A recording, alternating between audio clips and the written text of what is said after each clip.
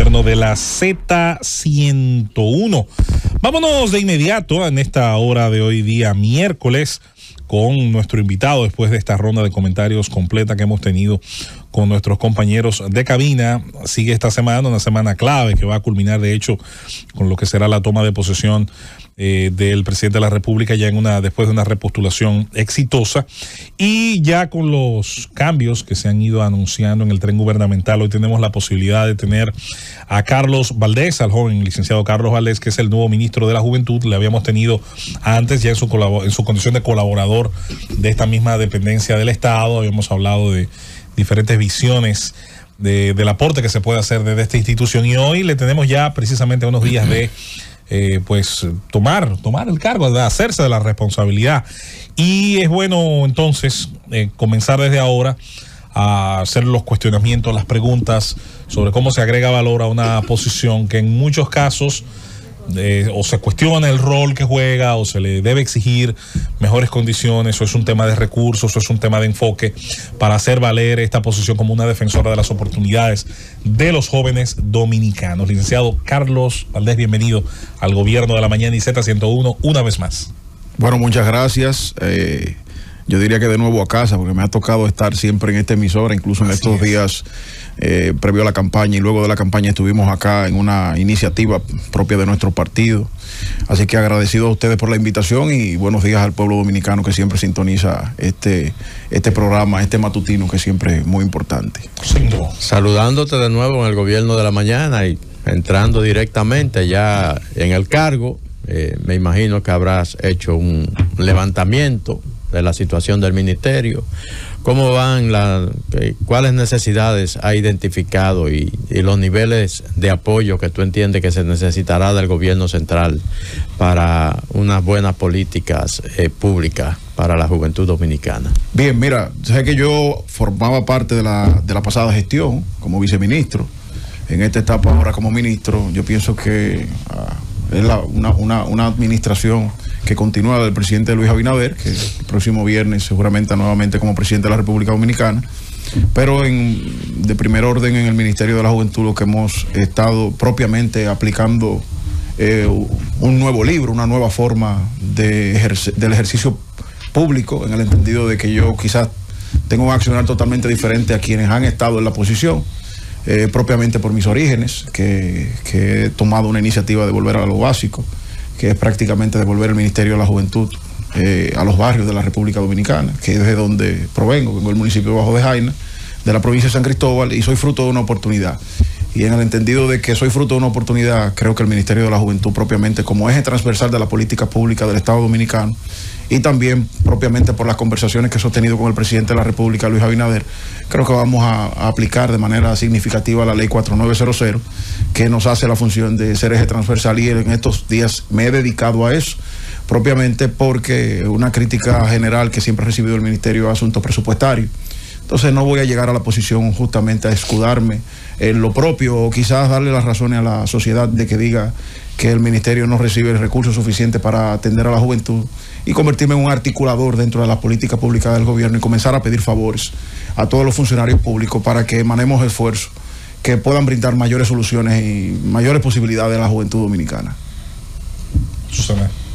Bienvenido por aquí.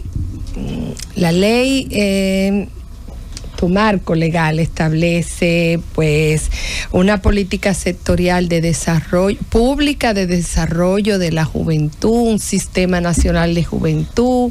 La ley realmente entre las cosas que te pones es gestionar en salud, educación, participación, gestionar con otros eh, ministros o con otros incumbentes. Eh, para eso se necesitan recursos, pero no tanto. Tus antecesores se han circunscrito a un premio, a reguindarse de otros influencers que generalmente tienen una influencia eh, nefasta para la juventud. ¿Cuál es tu pensamiento? ¿Has ido a visitar por lo menos esos dos sectores que están puestos en tu ley, como es eh, educación y salud? te presionando para que las entidades pues le den la cuota de participación a los jóvenes? Sí, pero yo, yo, yo siempre he sido, eh, y en este caso voy a ser muy específico, siempre he sido como crítico con el asunto de las cuotas. Eh, y, propiamente en esta posición las vamos a buscar. Pero yo creo que independientemente a lo que el pasado pudo haber recibido del Ministerio de la Juventud, yo pienso que esta etapa va a recibir, mm, no simplemente porque, porque somos nosotros que lo, que lo encabezamos, sino, sino propiamente por lo que nosotros buscamos desde el Ministerio de la Juventud. Yo creo que una de las principales acciones, incluso, eh, basado en presupuesto, una de las principales acciones que, tomamos como, como ministro fue solicitar que fuéramos invitados a la mesa de, tarea conjunta que tiene la policía, el ejército y, todo este tipo de cosas. Y, fue muy sorpresivo quizá para algunos, para que me vieran en esa mesa, pero sin embargo es que en esa mesa se recogen datos justamente donde están los mayores índices de criminalidad y donde están los mayores índices de criminalidad de este país donde está la deserción laboral, donde hay menos em, posibilidades de empleo, menos posibilidad adquisitiva en materia de salud, en educación, en un sinnúmero de cosas. Y eso a nosotros nos va a permitir de manera llana focalizar los recursos que tiene el Ministerio de la Juventud, exclusivamente en los lugares donde verdaderamente lo necesitan. Eso a nosotros nos ha abierto un millón de puertas, hemos tocado muchas, gracias a Dios todas se han abierto. Ya hemos realizado acuerdos con unas 14, 16 instituciones y nos estamos preparando para realizar una iniciativa que se llama Juventud con B de Barrio, que va a ser ejecutada propiamente el próximo 25 de agosto en las seis esquinas de los Minas en el barrio de Catanga. Ahí nosotros vamos a tener una iniciativa que va a iniciar con un acuerdo que previo ya hicimos con INEFI eh, de formación. Eh, hemos identificado algo que es un valor eh, agregado que yo pienso que, que, nos va a dar una fortaleza mayor y es que tradicionalmente aquí reconocemos eh, figuras ya cuando tienen el objetivo como logrado. Y, hablo del caso de Mary Lady. Y hablo de otros casos como jóvenes como Chris Lebron en el ámbito artístico. Pero sin embargo, el trayecto y la trayectoria de mucha gente, ese trayecto nosotros no lo vemos. Y desde el Ministerio de la Juventud hemos hecho eso. Incluso identificamos un acuerdo muy importante con INEFI, en el cual INEFI tiene un trabajo desde las escuelas en materia deportiva y nosotros estamos buscando propiamente que desde la mocedad de la juventud nosotros tener un, planteamiento que nos involucre a conocer a esos jóvenes y a poder acompañar. Y le hago un caso, un ejemplo muy palpable. Hace unos días yo revisando algunos casos del programa Beca Tu Futuro, que es un programa de democratización de las becas, donde permite que cualquier joven del Estado Dominicano pueda aplicar una beca. Me encuentro con alguien que había solicitado una beca 2 más 2. Es una beca poco costosa, porque es una beca que son dos años en República Dominicana, dos años fuera y ella decidió optar, aunque no hubiera la posibilidad de ella continuar con sus estudios. Pero sin embargo, una joven de 19 años que salió egresada de la Escuela de las Fuerzas Armadas y estudia ingeniería aeroespacial. Cuando me encuentro con ese caso, una sola joven estudiando eso, con el mayor índice que tiene actualmente de la, carrera en la Universidad INTE, yo me personé a su casa para conocer su historia, pero propiamente para comunicar al presidente que había una joven que estaba terminando dos años en INTEC y que necesitaba un apoyo adicional para poder irse a la Universidad de Michigan, a la cual había sido aceptada, y nosotros tratar de promover eso. No solamente conseguimos que la joven fuera becada en esta etapa, sino también que el próximo 21 la vamos a llevar al IDAC con Igor Rodríguez, que nos va a recibir, para tratar de ayudarla a que ella pueda culminar sus estudios, pero también para promover a que más jóvenes mujeres eh, y más jóvenes en, en, sentido general, varones y hembras, puedan optar por esta carrera. Esto significa bastante para mí, de manera muy personal, que estoy tomando los casos muy, muy de cerca, porque el proceso de democratización es importante.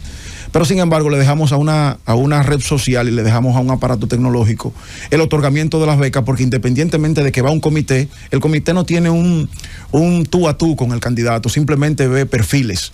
Y yo he querido que independientemente de que los jóvenes puedan aplicar un proceso de becas, de que los jóvenes puedan acceder a un programa como apoyo educativo, de que los jóvenes puedan tener una participación a través del laboratorio de emprendimiento que tiene el ministerio, darle un giro y es que esos jóvenes que son importantes, nosotros los vamos a denotar desde ahora, porque va a ser muy importante que mañana en 10 años, cuando esa joven pudiera estar ocupando un puesto en este país de manera importante, la gente no la reconozca porque ya lo está ocupando, sino que sepa que desde el Ministerio de la Juventud se le apoyó cuando decidió estudiar la carrera. Y ese caso es uno de los tantos que nosotros vamos a, a dilucidar dentro de nuestra gestión. Pero yo pienso que mi rol más importante va a ser en esta etapa eh, la de ser un cazador de talentos de la juventud dominicana. Yo pienso que si el Ministerio de la Juventud se convierte en un cazador de talentos, que no simplemente nosotros seamos una alternativa para que los jóvenes nos busquen a nosotros, sino que nosotros salgamos a los barrios a buscar a esos jóvenes, yo pienso que vamos a hacer una, una gestión diferente, no comparativa con las anteriores, pero sino un referente que le va a permitir a la sociedad dominicana entender la importancia del Ministerio de la Juventud la importancia del ministerio de tener un joven sentado en la mesa de trabajo del Estado Dominicano en un gabinete de gobierno, que es una importancia tremenda, que es una oportunidad que se le da a un joven menor de 35 años de ocupar un puesto de esta índole, pero no simplemente por ser joven, sino también por denotar capacidades, por demostrar una entrega y un entusiasmo eh, eh, veroz en favor de la, de la generación propiamente que me ha tocado encabezar, pero sobre todo también para darle un nuevo giro y, una nueva responsabilidad propiamente al Ministerio de la Juventud. Desde el Ministerio somos jóvenes, pero que debemos dar un giro importante porque la juventud no es simplemente ser muchacho. La juventud es un patrón de edad generacional que debe estar acompañado de una formación importante y yo pienso que esta etapa nos va a permitir a nosotros desarrollar una gran carrera en lo personal, pero también en lo colectivo. Carlos, primero felicitarte. Eh, pienso que tiene una visión clara, de acuerdo a lo que ha venido explicando. Decirte que cuenta con mi apoyo porque yo todo lo que representa a San Cristóbal, sí. mi apoyo incondicional. Eh, en lo que tú creas que podamos eh, colaborarte. Juventud es reverdía, juventud es arte, juventud es deporte, juventud es expresión, juventud es todo. Como tú bien señalas, eh, se trabaja con una serie de ejes transversales. Ahora, aquí ha habido una debilidad del capital social que vincula a la juventud, que son los clubes artísticos, clubes culturales, clubes deportivos, clubes de ajedrez. ¿Qué tan podríamos nosotros comenzar a trabajar, sobre todo en lo que es la parte rural? Eh, porque hemos focalizado solamente que el deporte es béisbol y hay pocos espacios para practicar el béisbol. Sin embargo, en cualquier esquina tú puedes colocar una cancha de baloncesto y tú integras a la juventud o puedes establecer un equipo de ajedrez, un club de ajedrez y los muchachos pueden desarrollar ajedrez, tablero. ¿En qué medida nosotros podríamos comenzar a contribuir a la formación de ese capital social que es importante en la formación de la juventud, sobre todo en esa etapa preadolescencia hasta, hasta, hasta los 22, 23 años? En la medida en que podamos ir incorporando esos clubes culturales, clubes deportivos, clubes de artes, artísticos, de teatros, que podamos ir incorporando a la juventud para darle mayor nivel de paso y participación a esa juventud y mayor nivel de desarrollo integral. Pero sé en estos días, eh, a mí me gusta leer los comentarios de las redes sociales, me gustan, sirven como un termómetro. Y alguien decía que de las visitas que he realizado casi todas son ligadas al arte y, y al deporte y a la educación. Y yo, justamente alguien me preguntó ayer que acompañaba a Luis Mercedes y a Jean Luis Rodríguez en el lanzamiento de, un torneo infantil eh, panamericano que se realiza en República Dominicana, que está dedicado a la vicepresidenta, me decía que, me decían que desde que asumimos solamente nos han visto en actividades deportivas y algunas culturales también y, dentro del formato de educación. Y yo le decía que no puede haber Ministerio de la Juventud sin deporte, sin cultura sin educación. O sea, no puede haber un Ministerio de la Juventud que no esté involucrado en esto en estos tres sectores y otros más importantes, como es el emprendimiento también.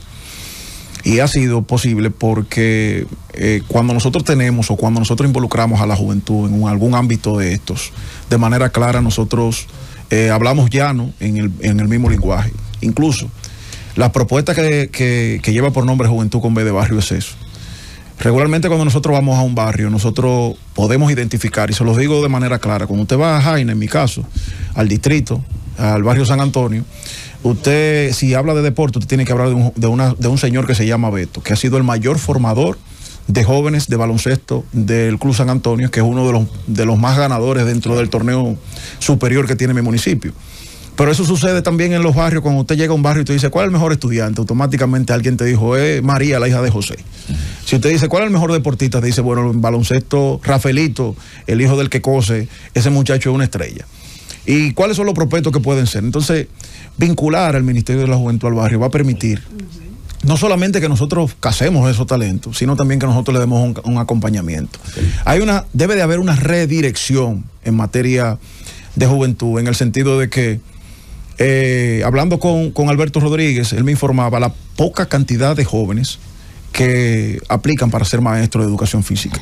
Pero cuánto maestros de educación física jóvenes, que fueron deportistas, que dejaron de practicar el deporte, sin embargo hoy están en los barrios formando a tanta gente.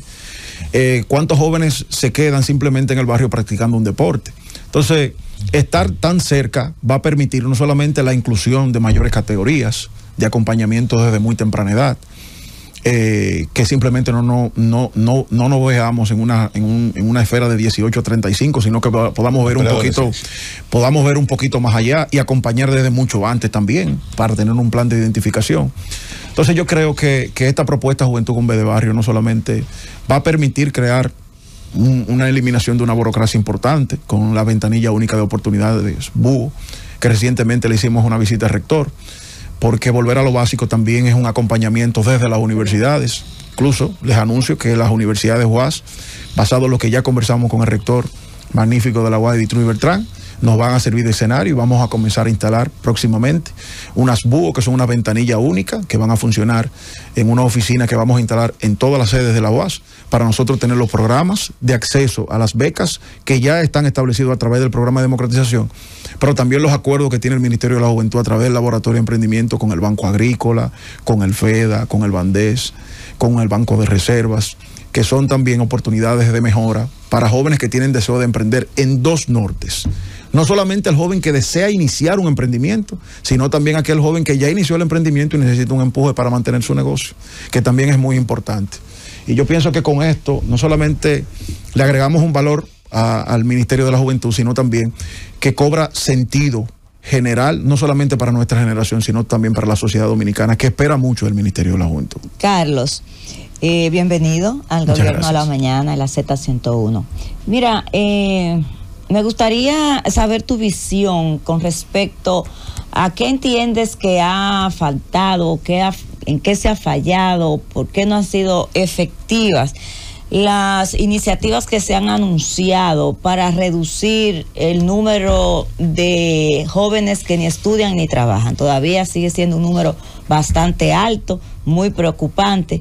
¿Qué crees tú que ha fallado? Eh, si tienes eh, alguna idea, visión, eh, iniciativa que entiendas pueda aportar a reducir considerablemente este número de jóvenes que ni están trabajando ni estudian. Mira, tú sabes que yo incluso soy, estoy muy feliz con, con, con, lo, con lo que se ha logrado. Siento que falta todavía. Incluso tenemos hoy reunión con don Tony Peña al mediodía con Alex Mordán, que es director ejecutivo del programa 1424.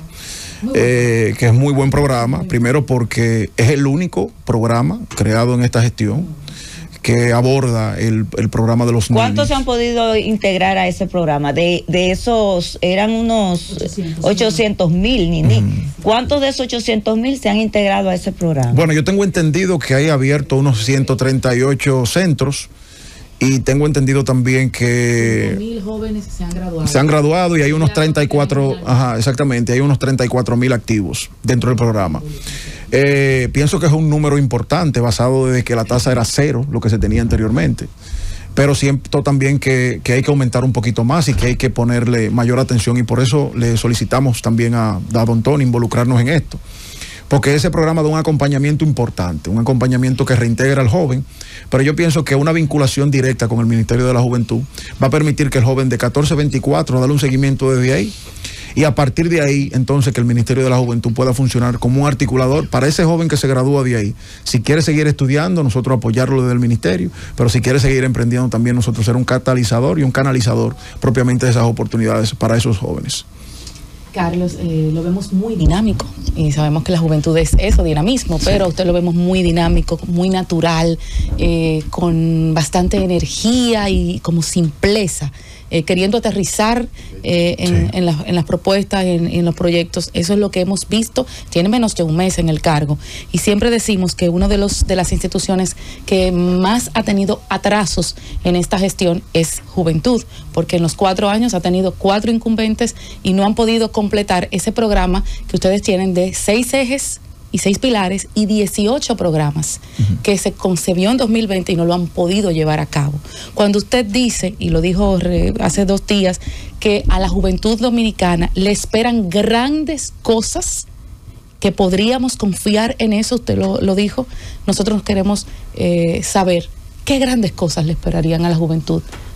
en torno a esa visión. Yo te, abro, es una, esa visión es una visión macro, es una visión importantísima, la que se ha planteado desde el, desde el inicio de la gestión del presidente Luis Abinader en materia de juventud.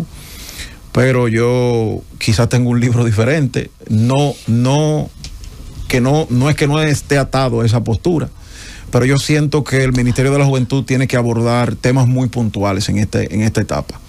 Y los temas puntuales se hacen primero desde desde que podemos focalizar a dónde está el problema. Por eso la inclusión de nosotros a esa mesa de tarea conjunta. Ya identificamos, por eso te hablaba de, eh, y te hablo de manera llana. Eh, hace unos días nosotros estuvimos ahí, y vimos unos datos que decía que del 80% de los robos que se cometían en, este país, el 26% estaban concentrados en el municipio de Santo Domingo Este. Pues entonces nosotros nos preocupó esa alta tasa de robos que hay en Santo Domingo Este. Agarramos Santo Domingo Este, los desglosamos y vimos que Vietnam de los Minas, que Catanga tenían altos niveles, pues nosotros decidimos, bueno, pues entonces vamos a agarrar Catanga ahora mismo. Primero un alto nivel de población, una población joven importantísima, casi el, el 80% de lo que se cometen son jóvenes que tienen menos de 30 cinco años, pero entonces nosotros vamos a llevarle la, oportunidad de ahí, justamente ahí, por dos factores. Primero, porque la gente entiende que cuando nosotros hacemos convocatorias y son virtuales, que estos programas que yo estoy anunciando no son nada nuevos, son iniciativas que ha hecho la gestión, que han hecho eh, el gobierno en, en, otras ocasiones. Pero, ¿qué nosotros buscamos de efectividad? Bueno, si yo veo que yo hago una convocatoria y a veces la gente dice que no tiene la oportunidad para optar por una beca. Yo veo la convocatoria abierta y te aplican 200 personas cuando nosotros estamos esperando mil. Pues entonces yo he decidido cambiar el enfoque. ¿Y cuál es el enfoque? Bueno, pues si ustedes a través de las redes sociales ustedes no se han integrado, pues yo le voy a llevar el programa al barrio. Entonces, el acercamiento del Ministerio de la Juventud debe de ser ese, un enfoque más neutral, más, más visible, más tranquilo, más parecido a mi target de juventud. Yo no vengo a ponerme una faja de alguien que yo no me parezco, ni quiero ser, dejar de ser lo que he sido hasta el día de hoy. Soy un joven que soy oriundo de un barrio, que me formé en un cuadro de universidad, que se me dio una oportunidad. Bueno, pues la misma oportunidad que yo entiendo que la vida me ha brindado y que propiamente hoy le da al presidente de la República a alguien sin un gran abolengo político de ocupar una posición como esta bueno, pues entonces nosotros le vamos a demostrar que esos jóvenes valiosos que hoy están en cada uno de los barrios de la República Dominicana, que también necesitan una oportunidad, pues nosotros vamos a estar ahí en el barrio, dándole oportunidad al que verdaderamente quiere oportunidad, porque está demostrado que el joven que quiere hacerlo bien, eh, que el joven que quiere hacerlo bien, y lo voy a repetir eso, el joven que quiere hacerlo bien busca la forma de hacerlo bien independientemente de las políticas públicas que realice el gobierno. El que quiere hacerlo bien lo hace bien de cualquier forma. Ahora, el que quiere hacerlo mal buscará cualquier excusa de decir que no hay oportunidades para refugiarse en lo mal. Y es una realidad que vivimos y nosotros la vamos a enfrentar desde el epicentro, que son los barrios de la República Dominicana. Hace tiempo que desde el Estado se habla de una reducción del gasto público y una eficiencia del gasto público. Y dentro de todas estas ideas, alguien planteó la posibilidad de eliminar el Ministerio de la Juventud, el Ministerio de la Mujer eh, y una serie de instituciones y fundirla en una sola. Parece que el presidente de la República comparte esa visión de ir reduciendo gastos. Ya comenzó con una reforma constitucional para reducir la cantidad de diputados. No sería extraño que viniera también la posibilidad de que eh, esos ministerios se fundieran en uno. Entonces, ¿qué pasaría? ¿Tú, tú, qué visión tú tienes sobre ese, sobre ese particular? Mira, mi visión es el trabajo. Yo pienso que el presidente de la República tiene el oído en el corazón del pueblo y si el pueblo se pasa diciendo que el Ministerio de la Juventud o que otras instituciones no tienen un sentido de ser. Yo soy del partícipe de que el, del, que el presidente de la República lo va a escuchar. Ahora, si el presidente ve que en el Ministerio de la Juventud se está haciendo cambios, que en el Ministerio de la Juventud está trabajando para el target al cual eh, pertenece, yo pienso que con trabajo es que se responden ese tipo de preguntas. Yo no voy a venir aquí a decir en Radio Nacional que yo tengo una varita mágica de cómo solucionar todos los problemas de juventud. Ahora yo sí les puedo decir que tendrán un trabajador incansable en materia de juventud día por día en las calles de la República Dominicana transformando el marco de oportunidades o la visión de oportunidades que debe tener un joven en todo el barrio del país, en todos los sectores del país, y que van a contar no solamente con una institución que está ahí para trabajar por juventud, sino propiamente para crear oportunidades donde reside la gente, pero oportunidades para la gente que quiere de verdad recibir una oportunidad. Querido, felicidades por esa nominación. Es un gran reto porque el capítulo Juventud es una agenda pendiente definitivamente en República Dominicana, independientemente del gobierno. Hemos visto con niveles de preocupación que hay un incremento de atracos perpetrados por jóvenes que en manadas de motoristas y demás menores de edad, pues han asumido temas como en el Higüero, como en Higüey, como Picapollos en Santiago en este sentido. Hay un tema en el Ministerio de la Juventud que aparentemente siempre se ha propiciado, beneficiado la parte de las becas universitarias, pero no así el tema de carreras cortas técnicas que puedan darle un oficio a estos jóvenes.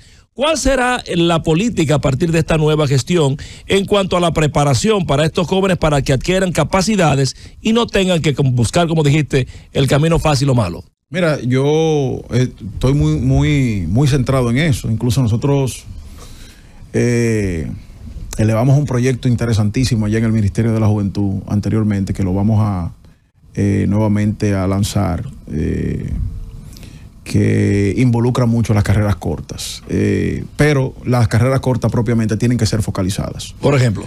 yo te hablo de, voy a tocar de nuevo Jaime, voy a, voy a tocar Herrera. Tú tienes dos zonas industriales donde la sociedad de, que vive ahí demanda tener más tecnicismo Incluso hoy tenemos una política pública que se aplicó en el municipio de Jaina, una reivindicación social, que fue la creación del Infotep. Usted tiene el, parque industrial más grande de la República Dominicana y no tiene un centro de formación cerca. Bueno, pues usted está perdiendo el tiempo con tantos jóvenes ahí que tienen que trasladarse aquí a la capital. El presidente de la República agarró y dijo, no, pero nosotros tenemos que utilizar, ¿qué utilizamos? Bueno, utilizamos el ingenio Río Jaina, las oficinas, y vamos a hacer un Infotep y se inauguró un Infotec que estaba dirigido a, dos mil jóvenes de formación y en su primer ingreso recibió 3.500 en su inauguración. Quiere decir que hay un, porcentaje sumamente alto que eso. Entonces nosotros desde el ministerio ahora nos estamos abocando a focalizar eso, a focalizar en el sentido de que si las becas cortas se necesitan en un área de muy en específica, en un sector, nosotros las vamos a aplicar ahí. Pero no abrir convocatorias por abrir convocatorias, por venir aquí a decir números importantes de que tengo mil jóvenes que mañana van a recibir una capacitación técnica que no la van a poder utilizar en el sector a donde se están desarrollando, sino tratar de que nosotros le llevemos las posibilidades técnicas eh, necesariamente a donde los jóvenes necesitan esas oportunidades técnicas. en la misma tesitura, en la misma dirección de la pregunta que tiene diseñada, precisamente va en la vía que abre, que abre Khalil, porque la mejor política es la de los buenos resultados. Sí. Punto. Eh, hay, hay un tema con el uso de los recursos humanos o mejor dicho, la educación, la formación de nuestros recursos humanos. Una vez se me ocurrió decir, y lo mantengo todavía. ¿Lo, puedo decir yo? Sí, dígalo. Que tú decías que el Ministerio de la Juventud es Infotep. Claro que sí. Lo, mantengo y lo sostengo, y qué bueno que por lo menos se entiende por qué lo digo. Ahora, las universidades autónomas de Santo Domingo que se han abierto en el interior, yo decía que cayó mal en un momento en mi pueblo cuando dije, la que hagan allá, por favor no la hagan igual a la de Santo Domingo, hagan la agrícola y mecánica. Porque yo necesito que el recurso humano que se quiere quedar allá, que aspira a quedarse en su suelo, tenga la capacidad de aprovechar los recursos del suelo. No me sirve la misma universidad las mismas humanidades que da en la ciudad donde el sector servicios es enorme, amplísimo, y es capaz de absorber la masa que sale de las universidades y ocuparla en contabilidad, en, en, todos esos temas, que en mi pueblo, en mi campo, en mi región, donde lo que yo necesito son técnicos de suelo, piscicultura, eh, capacidad de estudiar las condiciones edáficas del suelo, de producción, de presa, de todas esas eh, eh, cuestiones, debo darle importancia al sector productivo que yo pueda atar al recurso suelo. Pero bueno, ese es un tema que me parece que, que Khalil ha tocado interesante. Mira, para no repetirnos, en México hay un instituto, se llama INADEN, es el Instituto del Emprendedurismo en México, y es una oficina que está muy enfocada en el tema de los jóvenes. atención, no quiero que se haga uno aquí, no estoy pidiendo, señores diputados, si me escucha, que hagan uno aquí. Escuchen bien lo que voy a, a proponerle a Carlos. Uno de los productos de política pública que el INADEN genera en México, a mí sí me interesa que tú lo estudies, porque el sector ejecutivo, el, el Poder Ejecutivo tiene vocación legislativa puede mandar proyectos al Congreso de la República Dominicana. Y habrá diputados jóvenes que tendrán el interés serio, honesto, en que también esto pueda hacerse en República Dominicana. El INADEN genera en México un producto que se llama crédito juvenil. Crédito juvenil. Aquí se habla mucho de preparar a los jóvenes en la parte técnica y generar en ellos conocimientos y capacidades. Pero luego van a un mercado laboral que primero para ser empleado le exige experiencia, donde diablo la habrán tenido con 19, 20 años pero que luego para emprender te la pone difícil, es más fácil obtenerlo. Hemos dicho, un préstamo para un carro que para un negocio. es curioso, pero es así. Los préstamos de consumo son más fáciles en República Dominicana que los préstamos de producción. Es, una de esas curiosidades que tiene nuestra economía. El monto ahora mismo de los préstamos que el INADEN da en México es 2 millones y medio de pesos mexicanos. Cuando usted hace la transferencia, es casi 8 millones de pesos en República Dominicana. Y yo sé que aquí hay banca solidaria, yo sé que aquí hay buenos programas relacionados a emprendedores en general, pero como tú te toca defender a los jóvenes, específicamente a los jóvenes, ¿tú sabes lo que hace el INADEN? limite esos préstamos entre 18 y 30 años. Creo que la ley 4900 establece que aquí entre 15 y 35 años es el sector que llamamos juventud, hipotéticamente. Eh, me gustaría que, aprovecháramos experiencias similares, que estudiáramos su implementación y que pensáramos cómo pudieran hacer la diferencia en la República Dominicana. No se puede arrancar ninguna idea importante si no se tiene un acceso al crédito por buena que sea la preparación técnica, por duro que yo sea reparando celulares, por bueno que yo sea como técnico industrial, de reparación, como tú has dicho, de, maquinaria industrial, necesitamos el acceso a los jóvenes a algún tipo de herramienta crediticia, sobre todo aquellos que habiendo salido de, post, de Politécnicos y de Infotep, no solamente vayan a ir al mercado como empleados. Me gustaría simplemente dejar en ti más que una pregunta, el estudio de este tipo de políticas y tratar de trascender a, lo que se ha hecho siempre, que no digo que esté mal, pero sí. ir más allá. Los buenos funcionarios de áreas como la que te corresponde tienen que ser disruptivos. A veces el mejor político es el que incordia, es el que molesta un poco. Ya viene este a joder. Sí, sí, hay que, hay que a veces joder y rejoder a los que creen que tú fuiste ahí a hacer lo de siempre. Ah, ayúdame con esto, dame un pasaje, vamos a mandarte al joven a tal feria. Ir un poquito más allá y te, te enfatizo ese ejemplo. Pudiera ser otros más que pudiéramos aprovechar y tal vez hacer una diferencia en el caso del tejido eh, social joven en la República Dominicana que está buscando oportunidades. Parece que nosotros estábamos juntos ¿Ah, sí? hace un par de días. Ah, porque, bueno, quizás en, en, otra oportunidad nos, toque, pero una de las cosas que. Hay que tomarse su traguito también. Sí, sí, sí. no bebe, se lo bebe. Eh, sí. sí. Tengo una anécdota importante de eso. Luego se las cuento. Fuera del aire se las cuento. Pero miren, la, la, eso que tú tocas. Eh, eh, fue algo que, nosotros conversamos porque yo decía, incluso con los eh, administradores de banco que he hablado y de la banca, le conversaba que de qué forma nosotros podíamos focalizar esos préstamos al lugar a donde nosotros lo estamos llevando, con un rango de edad preestablecido también, pero también con un, con un marco de oportunidades que permita propiamente el retorno de esos ingresos, pero también el aumento del capital que ellos mismos habían invertido.